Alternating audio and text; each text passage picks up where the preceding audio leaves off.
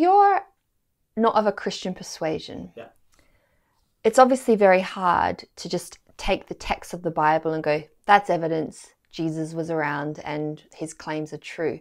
What have we got historically in terms of texts that can, you know, eh, talk about Jesus in uh, like a weighty manner where they don't just write it off as, well, yeah, you're biased because you believe the Bible to begin with?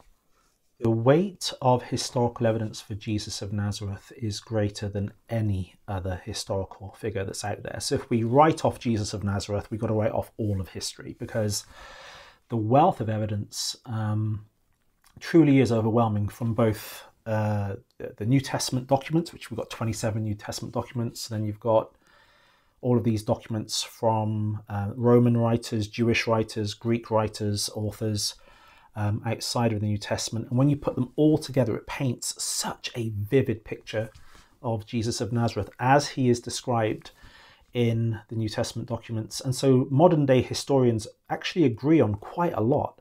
Uh, and this includes atheist New Testament historians. They agree that Jesus existed, that he was a preacher from the Galilee, that he had a huge following of disciples that included women, which was very unusual for a first century Jewish rabbi that he was known as a miracle worker and an exorcist. And they don't agree that he did these things, but he was known as that.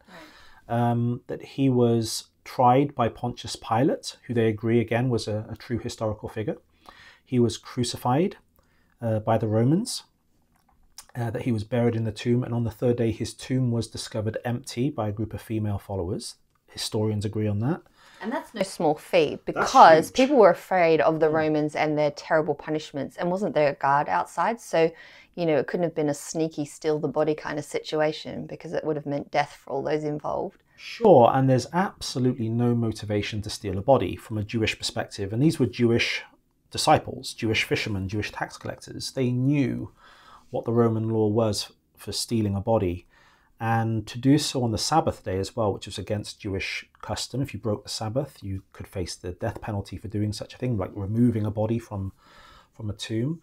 And so there's absolutely no motivation on their behalf, on their side, to do such a thing. So the fact that there is an empty tomb um, and the disciples very, very early on, straight out of the gate, they are recording the fact that Jesus rose from the dead, that more than 500 eyewitnesses saw him they saw the resurrected Jesus and he offered them many convincing proofs that he's alive. So even atheist historians have come to the conclusion that his disciples saw post mortem appearances of Jesus alive after his death. But they try and explain these post mortem appearances away by things like hallucination or, you know, but these are like really outlandish I would say they're more outlandish than actually believing in the resurrection itself. To think that more than 500 people had a hallucination of the resurrected Jesus. Um, Can I ask, did any sure. of those 500 people um, make record of what they saw? Is that part of the text that we can talk about? And so, well, you've got the writings in the New Testament of the disciples. So, one of the strongest arguments is the Apostle Paul himself. He was a Pharisee, he was anti Christian, anti Jesus. Because it's went... important to note that Jews didn't necessarily believe that Jesus was their Messiah. So Jews didn't have a vested interest in promoting Jesus, did they? And that's where Paul was coming from, right? Very much so. And in the first century, Jewish people did not have a concept of a dying Messiah who would come to die for their sins. What they wanted was a Messiah like King David who was going to come along, kick the Romans out, kick the Romans out overthrow the Roman Empire, and fulfill the prophecy of Daniel that the the stone during the Fourth World Empire would come and smash the, the statue on its feet, and the four Gentile empires uh, would come crumbling down, and then God would establish this new Jewish empire, this new Jewish kingdom. So they were looking for a Messiah that was going to do that for them. They were not looking for a crucified Messiah who was coming to die for the sins of the world. That was completely outside of their frame of reference. So to suddenly go from being like with Paul, for instance, being somebody who wanted to wipe Christianity off of the map.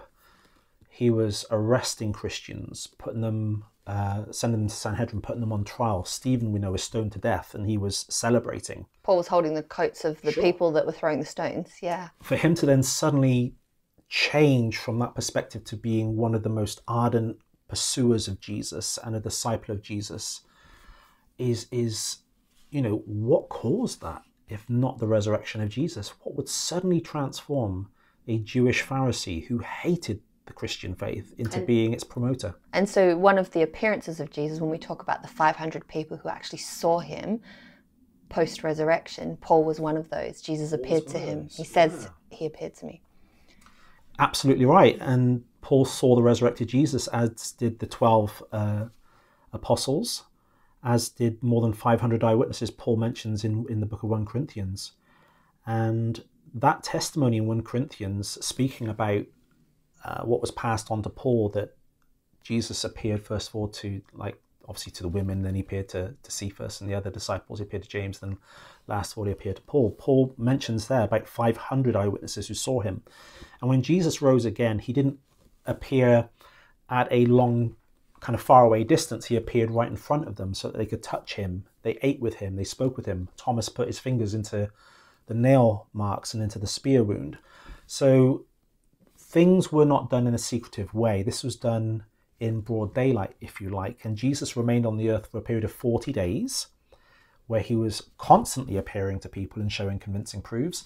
And then when he did ascend to heaven, he didn't do it out in the backwoods somewhere. He did it from the Mount of Olives. And if you look at where the Mount of Olives is in comparison to the Temple Mount in Jerusalem, it's literally just over the valley. So many, many people would have seen this ascension of Jesus too. Things were not done in a dark corner. I think because you mentioned the 12 apostles, so they spent a, a good section of their life with Jesus when he was alive on the earth before his death, his crucifixion and resurrection. And then they went on, some of those apostles, to write these New Testament books that we have, which historians generally verify as these are valid historical documents. So the fact that these men witnessed that resurrection and then wrote about it, and historians say we can verify this as a good account of history, I think that kind of gives it weight as well. Hmm. Because what I like about the Bible, um, unlike some other religious texts, is it's not just a book of this is what you have to do, these are the rules to appease God. It's actually a historical account of the life of Jesus and what happened. And then it's verified by texts outside of Christianity in terms of its timeline of events and what happened. So it's not just somebody who claims, "Oh, I'm a prophet and, you know, I've had a download and here here are the rules you must follow." Atheist historians actually validate that the, the historical text that's contained within the Bible is valid. Yeah, and as I mentioned earlier, the atheist historians now they are saying that there were post-mortem appearances of Jesus. Like Gerd Lüdemann, who was uh, one of the most famous New Testament historians, said that it's, it's undoubtable that there were post-mortem appearances of Jesus alive. Atheists are saying this. I mean, the historical evidence for the existence of Jesus, the crucifixion of Jesus, the resurrection of Jesus, very, very strong.